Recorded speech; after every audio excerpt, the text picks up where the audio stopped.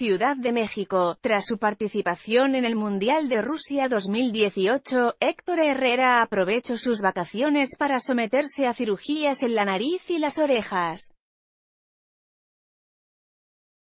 Lee también, Héctor Herrera tiene dulces recuerdos ante Brasil sin embargo, pese a lo que sus seguidores pudieran pensar, el jugador de la selección mexicana en un comunicado de prensa aclaró que la cirugía fue con la finalidad de respirar con mayor facilidad para mejorar su rendimiento deportivo. Asimismo el mediocampista del Porto informó en dicho comunicado que ya se encuentra recuperado y agradeció el apoyo expresado por los aficionados en redes sociales y por familia mientras se recupera.